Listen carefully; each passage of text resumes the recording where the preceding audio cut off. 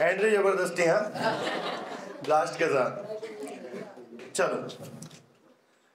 सभी लोग ये भी जानते हैं कि ये प्रीशियस टाइम चल रहा है। बहुत ही ज़्यादा। और मैं तो ये चाहता हूँ कि इसके बाद, अब आप लोगों के पास में समय के नाम पर कुछ भी नहीं बचा। लेकिन अगर अभी भी जागोगे ना तो भी सिक्सटी परसेंट परसेंटेज जो है can be made seventy five. आराम से बन जाएगी। लेकिन वो बात की बात है, यहाँ अपन बात करेंगे मोटिवेशन की, क्योंकि उसकी बहुत सख्त ज़रूरत है आपको। और देखो, पहला नियम मैं बता दूँ मोटिवेशन का, ये आउटसाइड से नहीं आएगा। हम कितना ही बोल रहे हैं, नहीं आएगा। जब तक आप नहीं चाहेंगे, तब तक नहीं आएगा। इनसाइड अंदर से आता है मोटिवेशन अगर आप आउटसाइड से रखोगे ना तो क्या होगा? आपने जैसे टारगेट किया नब्बे परसेंट आपने नब्बे अचीव कर लिए। मोटिवेशन गायब? अपने से, अपने आप से कंपटीशन रखो। किसी और से रखोगे? मान लो, मैंने रखा ये राठौर से, भाई से। और ये, इसको मैंने पास कर दिया। इसको मैंने डाउन कर दिया, इसको मैंने जीत लिया। उसके बाद क्या? इसलिए हमको खुद से कंपटीशन रखना बात से मत रखो जैसे कि एक जंगल की कहानी है। भाई मोर को देखकर कौवा कहता है कि मोर कितना सुंदर है हाँ? कौवा मैं कितना काला हूँ कितना भद्दा दिखता हूँ। अब मोर से जब पूछा जाता है कि क्या आप हंड्रेड परसेंट सुंदर हैं तो मोर कहता है मेरी टांगे देख हाँ, मेरे पाँव देख। ऐसे किसी हर एक जानवर से आप किसी भी ले लो हमें किसी से कंपेयर नहीं करना। आप जैसे हो बेस्ट हो। बेस्ट हो। जैसे आप अपने मम्मी पापा के लिए बेस्ट हो ना?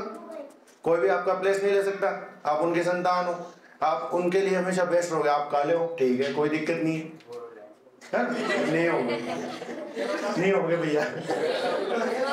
कलर, देखो, सुनो।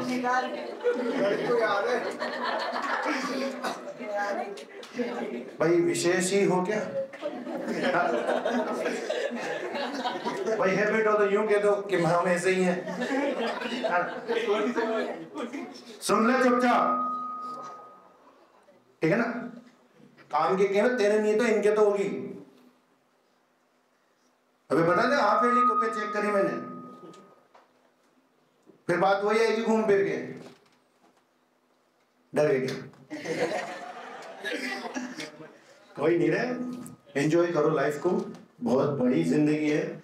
आराम से हर एक पल को एंजॉय करो। बहुत बेहतर होगा। देखो मैं बताऊँ एक कहानी सुनाता हूँ कैरोले टेक, टेक्सस नाम था उसका बंदे। हंगेरियन आर्मी से था। और 1930 1910 में जन्मा था वो। मतलब 1910 में। और बहुत ही शानदार पिस्टल शूटर था। पिस्टल शूटर जानते हो ना? छोटी एक गन होती है। आपने ओलंपिक में देखा अगर नहीं देखा तो कोई बात नहीं, देख लेना। बहुत बड़ी लाइफ है तुम्हारी। बहुत बड़ी। बहुत समय कट्टा। हाँ तुम्हारी भाषा में कट्टा। ठीक है ना? अपनी भाषा में पिस्टल अब भाई क्या है? अब देख लो आप। 36 1936 के ओलंपिक में उसे भाग लेना था। अब कुछ रूल्स थे ओलंपिक के। उसमें कुछ जो पोस्ट होती है सेना में, वही बंदे भाग ले सकते हैं। उस समय तक वो रूल था। तो 1936 में तो ये रूल उनके बाधा बन गया कि भाई मैं इसमें भाग नहीं ले सकता। ठीक है? राइट हैंड शूटर थे। ये ध्यान रखना राइट हैंड शूटर ज़रूरी है अब हो गया 1936 के बाद। 1940 में होने थे ओलंपिक अब आप सबको पता है 1940 में क्या हुआ था? 1939 में क्या स्टार्ट हुआ था, बताओ? सेकेंड वर्ल्ड वॉर ऑब्वियसली कोई वर्ल्ड लेवल का प्रोग्राम तो होगा नहीं, लेकिन उससे पहले एक घटना और हुई।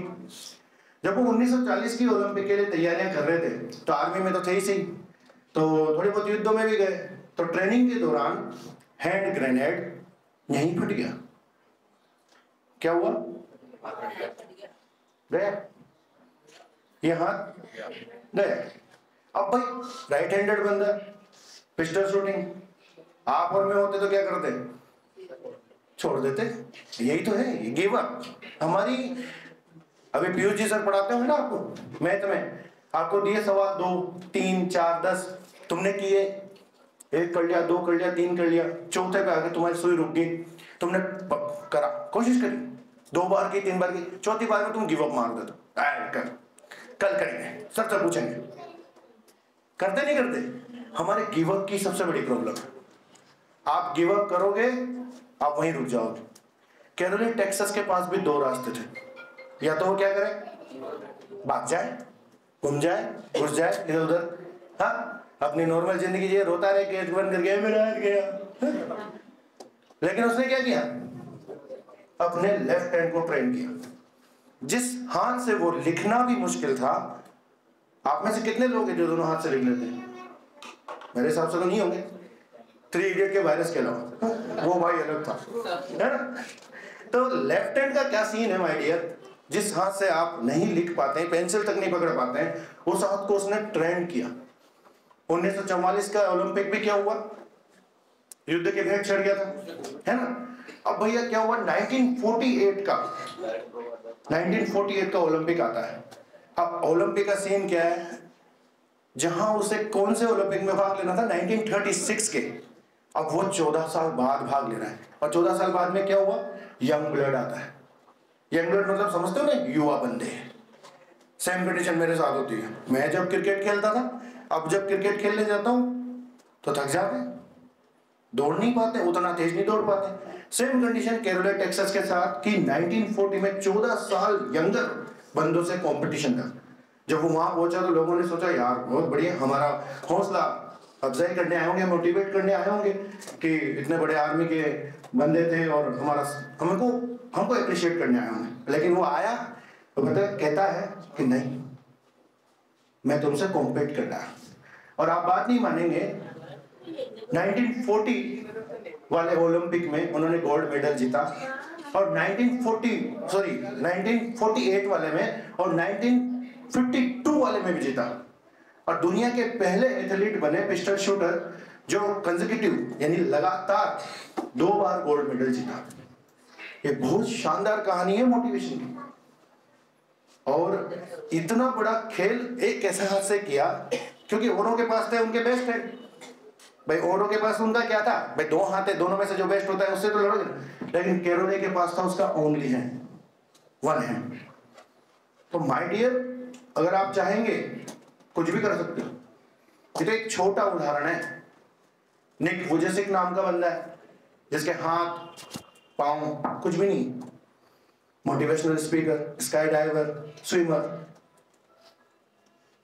तो माय डियर करने के लिए बहुत कुछ, आपके पास तो सब कुछ है।